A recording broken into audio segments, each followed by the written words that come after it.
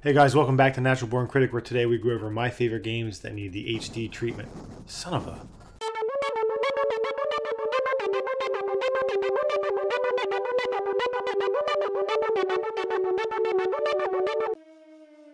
Alright guys, welcome back to Natural Born Critic. I'm Mike, and these are my top 10 games that I want to see get an HD sequel remake. Now some of these games you're seeing here uh, are games that didn't make the list, but there's so many great games I can't include them all. And I remember uh, back when Madden 98 came out that my brother said, that's it, graphics aren't going to get any better than this. So let's not ever listen to my brother. And before we get into the list, guys, let's please hit that like and subscribe button and tap that bell icon to turn on notifications. Alright guys, let's get into it.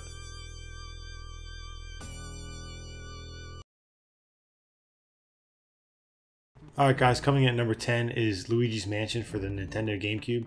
This game came out in 2001. It was a launch title for the GameCube and had great graphics at the time, and but it was criticized for being a little too short. In Luigi's Mansion, you explore the mansion and hunt down ghosts, and you have to solve puzzles and find keys to unlock new areas.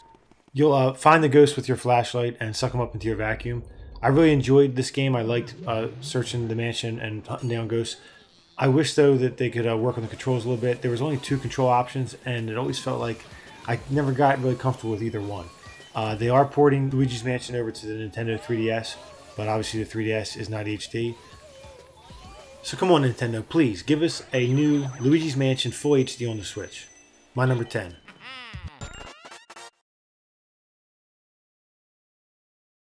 Coming in at number 9 is Heart of Darkness for the PlayStation 1, which came out in 1998. This is a cinematic platformer uh, by the same guy that did Another World, where you play as Andy, who's lost his dog to evil shadow dudes, who were originally sent to kidnap you, but of course they can't do anything right and they captured your dog instead. The game had these great cinematic cutscenes, and it reminded me a lot of Oddworld, from the gameplay right down to the difficulty, because this game is difficult. But don't worry, just like Oddworld, you have unlimited lives to restart the same area over and over again. I'd love to see this game remade in HD so a whole new generation of kids can experience having their back broken by giant flying bats, or a plant eating them, or a snake dragging you into the water. I mean, nope, this game wasn't disturbing at all. So that's my number nine, Heart of Darkness.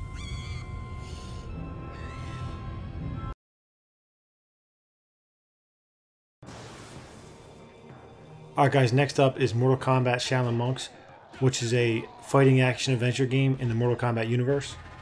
You played as Liu Kang or Kung Lao, and you could play single player or cooperative, and there were some areas that were only accessible if you were in cooperative mode. This game came out for the original Xbox and PS2.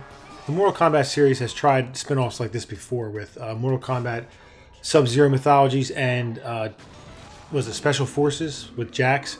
Uh, they were not very good, but this one was the first time they actually had some success with it. There was another game in development called Fire and Ice that followed Sub Zero and Scorpion, but it was canceled due to deadlines being missed and it was over budget. Ed Boon has talked in the past about revisiting something like this a couple times. So come on, Ed, whether it's the sequel to Shaolin Monks or the Fire and Ice game we never got, make it happen. That's my number 8, Mortal Kombat Shaolin Monk.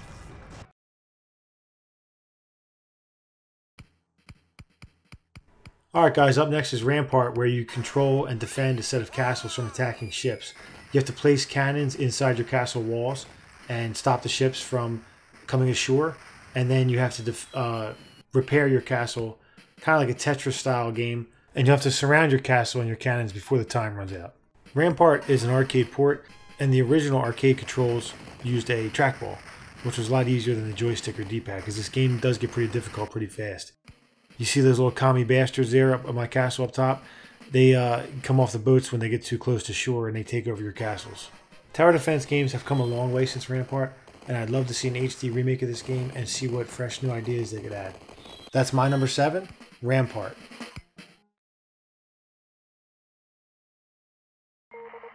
Next on our list is Crimson Skies High Road to Revenge, which is a first party game by Microsoft. It was for the original Xbox and came out in 2003. Crimson Skies is set in an alternate 1930s universe where flight is the main form of transportation, and the action and flight in this game is arcade style as opposed to like a flight simulator. When you're flying, you don't have to worry about intricate maneuvers, you can just fly and shoot shit. The single player campaign is pretty long, and there's different planes you can unlock, which each have different special weapons.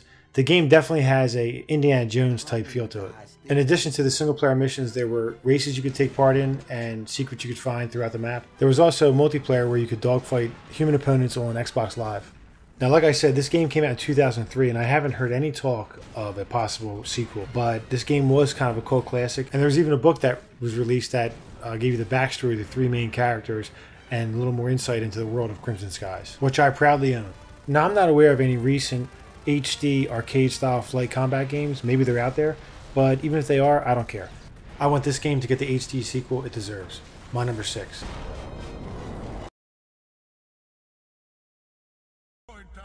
Alright guys, coming in number 5 is Metal Arms Glitch in the System, which was a multi-platform game that came out in 2003. It's a third-person action-adventure shooter game, and this game was overlooked at the time.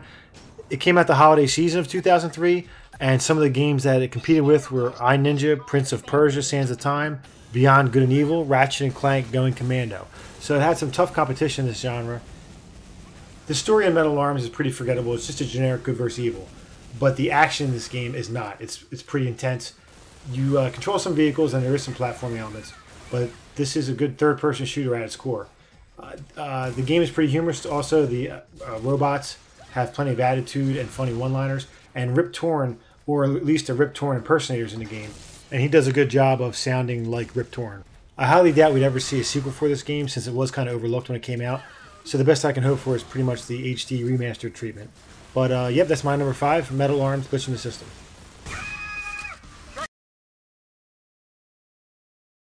Alright guys, I'm not much of a racing fan in real life or in video games, but I really love Burnout 3 Takedown.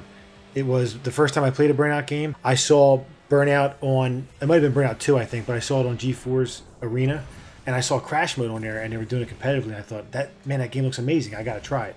So I got Burnout 3, me and my wife uh, played the heck out of this game and I like everything about it. I even like DJ Stryker, who most people found highly annoying. It's very hot today. It's like an SPF 99 day, and I rubbed it all over my body. It's burnout hot.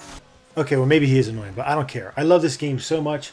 The sense of speed is in your face fast, man. It's even crazier when you have a full boost and you hit that boost. It's sometimes it's hard to keep the car on the road. You fill up your boost meter uh, a variety of ways by like taking down other cars or drifting. There's a number of vehicles and events to unlock. The vehicles are not licensed, but it's easy to see which uh, cars and trucks are supposed to be. And yes, I know there are two burnouts in HD. They just redid Burnout Paradise, which I didn't care. I didn't. I didn't care for. I didn't really like it that much. I didn't play it. I didn't like that the uh, crash mode wasn't its own separate mode. You had to like drive up to a red light or some dumb shit. I don't know. Uh, and Burnout Revenge, that's HD. That was good. Uh, but I want to see Burnout 3 Takedown in HD. Let's remake this game, Stryker and all. Let's have him back. I'm sure he's free. He ain't busy. The last thing that I know he did was dangerous golf. So that's my number four, Burnout 3 Takedown.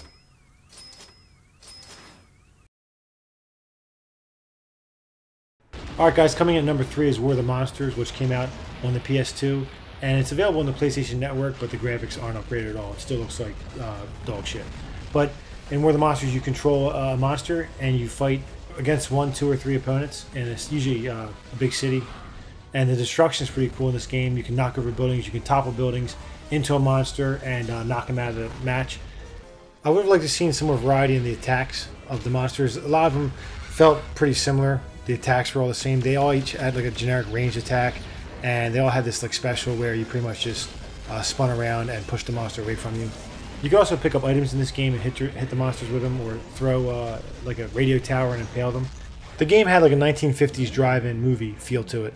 And I know there's some other monster games out there like uh, Godzilla Destroy Monsters Melee and Robot Alchemic Drive was a more of a mech simulator. And I, they were okay. I really like this game better. I, I would like to see this game uh, fix some of the problems that it had with the camera and more varieties in the monsters' uh, attacks. The monsters were cool themselves, uh, but that's my number three.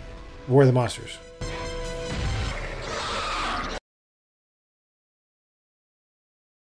Alright guys, our next game still looks so damn good. You don't really need an HD remake, but I just want to see it look that much better. It's Beautiful Joe. This game was released in 2003. It was part of the Capcom 5 for the GameCube. I think they were all GameCube games, uh, but it was later ported to the PS2. It's a 2D side-scroller beat 'em up with some unique features. The idea of the game is you and your girlfriend are watching a movie and she gets taken into the movie and then you're taken in after and you try and save her. And because you're in a film strip, you have some like editor tools, which are called VFX powers, where you can speed up time and slow down time and uh, zoom in, which help, and all those things help you solve some of the game's puzzles. The VFX meter does drain over time, but you can extend that meter by uh, getting juice bottles. And listen, I really loved everything about Beautiful Joe, from the music to the variety and level design uh, to the way they incorporated those VFX moves, which help you solve uh, some of the puzzles and, and fight bosses. Uh, that's my number two, Beautiful Joe.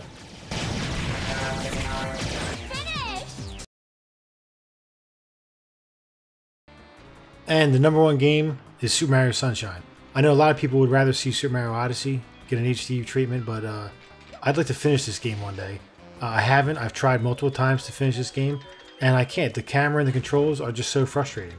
And I've seen other videos on YouTube. The game looks great. I don't know what they're using, an emulator or they're using an upscaler. Uh, but when I play this game, my eyes immediately start to bleed. Okay, maybe that's a little too harsh. It doesn't look that bad. Uh, and the game did look phenomenal when it came out. There's so much to do in this game. Uh, you can spend a lot of time just running around Isle Delfino. And that open world hub was something new to me. I never played Super Mario 64 before. You know, I know, oh my god, he never played Super Mario 64. Uh, but I was playing the PS1 at the time. I was older, and I was too cool for Nintendo. But yeah, guys, I think if Nintendo brought this game back in HD, tweaked some of the problems with it, like the camera, I don't think there'd be any dispute about how great Super Mario Sunshine is. Alright guys, well that's it. That's my list. And remember, these are just my games that I want to see remade in HD, whether it's an actual remake or a little bit of a quasi sequel. And I'm sure there's games uh, that you guys disagree with or have uh, your favorites you want to see. Let me know down in the comments below. And I'm curious to see how many of you guys want Super Mario Odyssey versus Super Mario Sunshine. Alright guys, thanks for watching. I hope you enjoy. Uh, please like and subscribe, and I'll see you in the next one.